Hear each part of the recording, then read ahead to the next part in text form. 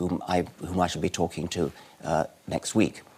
Now, it is very mysterious how the universe came into being. It's a deeply mysterious and interesting question. And, and can I just interrupt? It's an old question, a very old question. Thomas Aquinas in the 13th century was asking this same question. He said there must have been a time when no physical things existed, but something can't come from nothing. That was his view. It's just Well, been repeated by us. Something Uh, can come from nothing, and that's what physicists are now, are now telling us.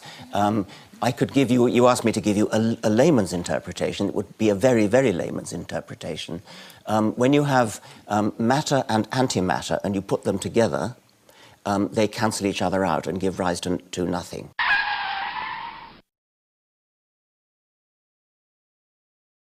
What Lawrence Krauss is now suggesting is that if you start with nothing, the process can go into reverse and produce matter and antimatter.